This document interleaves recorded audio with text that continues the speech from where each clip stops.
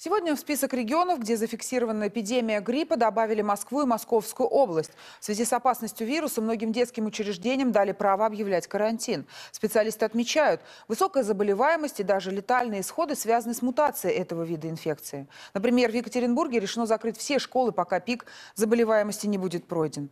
О том, как попытаться уберечь себя от вируса, в репортаже Ивана Прозорова.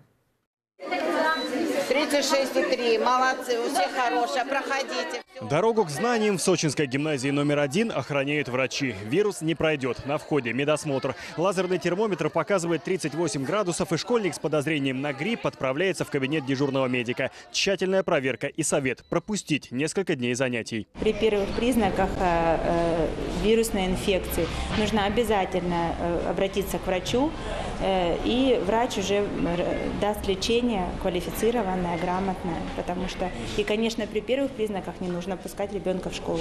Такие своеобразные утренние фильтры появятся и в Москве. Об эпидемии гриппа и ОРВИ объявила главный санитарный врач столицы Елена Андреева. Порог превышен на 40%. Большинство заболевших – дети. С сегодняшнего дня и до особого распоряжения карантин. Не только для школ и детских садов. Медиков призвали чаще обслуживать пациентов на дому, чтобы не заражать друг друга.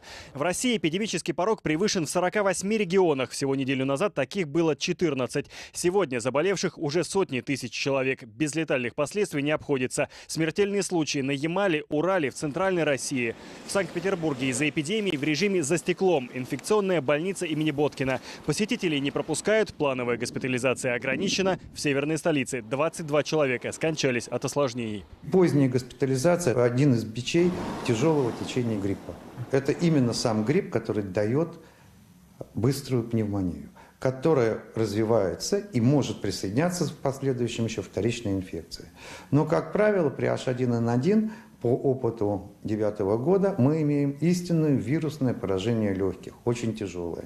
Тот самый случай, когда промедление смерти подобно. Ослабленный иммунитет, несколько сеансов самолечения и, на первый взгляд, банальная простуда превращается в тяжелейшие испытания. У трехлетней Иры температуру в 40 градусов сбивали два дня. Когда болезнь вроде бы отступила, внезапно началось сильное кровотечение. Ребенка удалось спасти. Попали сюда сначала в хирургию, потому что с подозрением на желудочное кровотечение.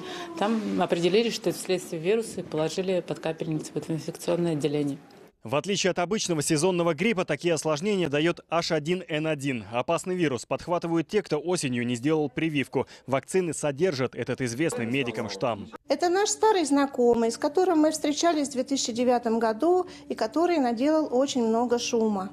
Но в отличие от прошлых лет, сейчас есть стандартные методики лечения, разработанные алгоритмы, порядки лечения. Мы знаем, как лечить этот грипп. Поэтому в этом году, как никогда, очень многое зависит от самих жителей. Ни в коем случае нельзя надеяться на наш русский авось и ждать, что само все пройдет. При первых же признаках температура, головная боль, слабость, кашель врачи советуют вызывать домой дежурную бригаду. А чтобы не подхватить заразу на улице, призывают избегать массовых мероприятий. И дают простые советы, среди которых и не очень привычные россиянам. В западных странах сегодня детей учат правильно чихать не в руки, а в сгиб локтя. Прям вот так чихать, чтобы руки были чистые, чтобы руками не передавать возбудителя друг другу.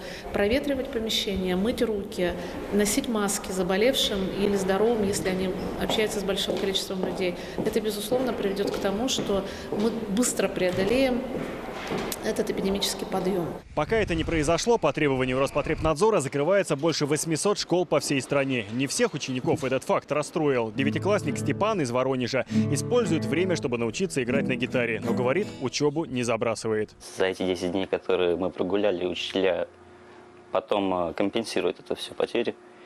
Уроками, вот. заданиями? Уроками, заданиями, домашними и всем остальным будет веселая жизнь. По мнению специалистов, пик заболеваемости впереди. Самыми тяжелыми могут стать нынешняя и следующая недели. Из-за эпидемии в Санкт-Петербурге завтра отменены ряд конференций и встреч, посвященных годовщине снятия фашистской блокады.